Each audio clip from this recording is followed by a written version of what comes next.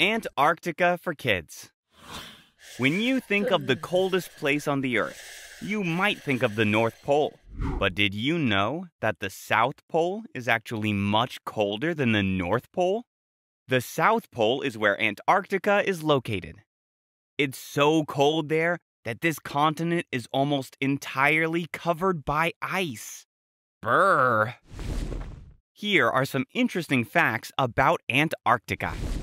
Antarctica is located at the bottom of the Earth, or in the southern hemisphere.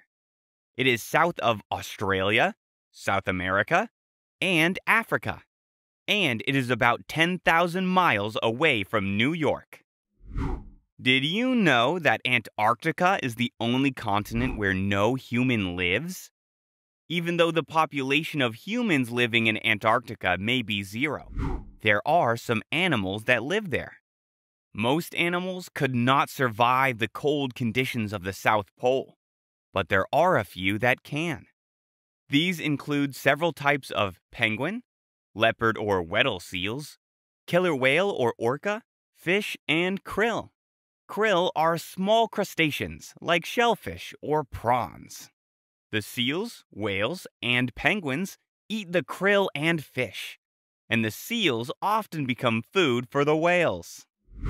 Only about 2% of Antarctica is not covered in ice, so there are very few plants that grow there. Trees and shrubs don't grow there either. The cold climate is the reason there are few living organisms in Antarctica. However, moss, non marine algae, and many fungi and bacteria do grow there. Sometimes in the summer, the color of snow in parts of Antarctica turns red, green, gray, or yellow.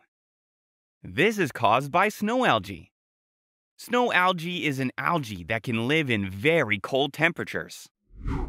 Did you know that Antarctica is the largest desert in the world?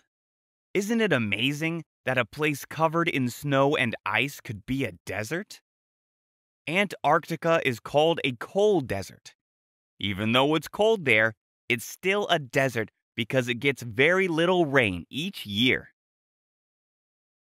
So, if it rarely rains or snows, then why is there so much snow on the continent? It's because the snow never melts. And the little bit of snow that Antarctica gets yearly just continues to pile up on top of the old snow. So, Antarctica is almost completely covered by a layer of ice and snow that has accumulated over millions of years. In some areas, that sheet of ice and snow is between 1 to 3 miles thick. Did you know that Antarctica contains about 90% of the ice on Earth? And if all that ice suddenly melted, the sea levels throughout the world would rise by over 200 feet. That's enough water to cover all the coastal cities. But don't panic. That's probably not going to happen. And this is why. Antarctica is very, very cold. The coldest temperature ever recorded on Earth happened in Antarctica it was 128.6 degrees Fahrenheit below zero. And sometimes the winds in Antarctica can reach up to 200 miles per hour, making it even colder.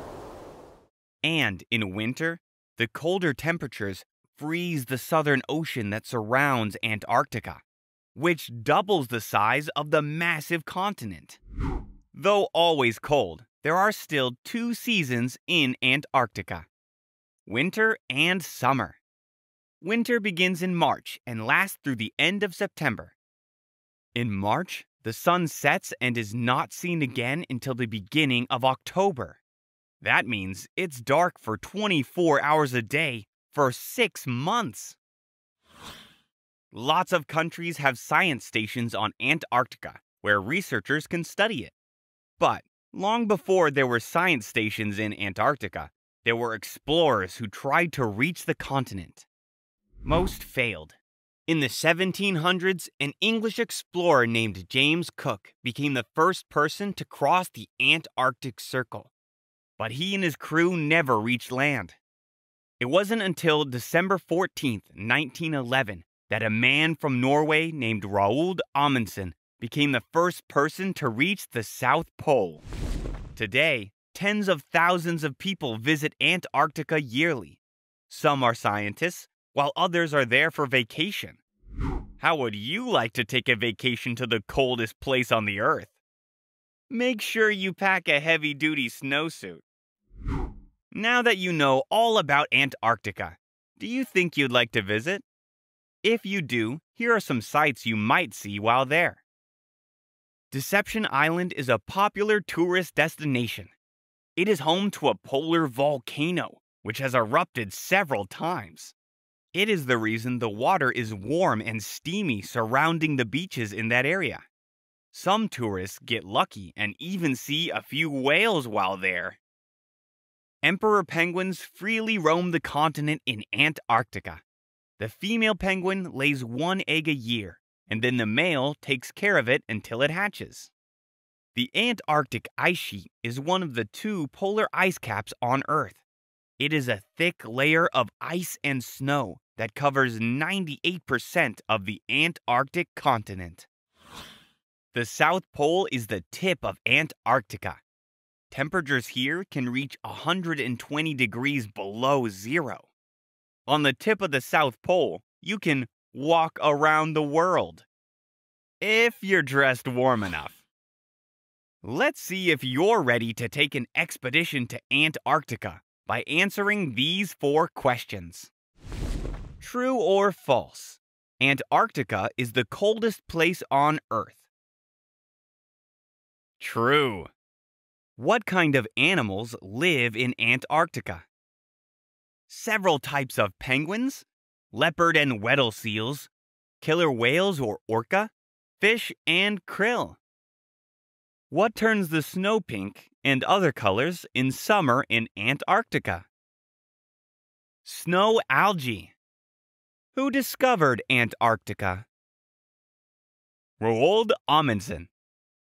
Nice job, Antarctica expert. Perhaps the coolest thing about Antarctica is that it belongs to everyone and not just one single country. In fact, in 1961, the Antarctic Treaty was signed, and it says that very thing. It states that scientists who carry out experiments in Antarctica must share their results with the different countries that signed the treaty. It also states that people who visit Antarctica should care for the environment and only use the land for peaceful purposes. What a cool continent! Hope you had fun learning with us. Visit us at learnbright.org for thousands of free resources and turnkey solutions for teachers and homeschoolers.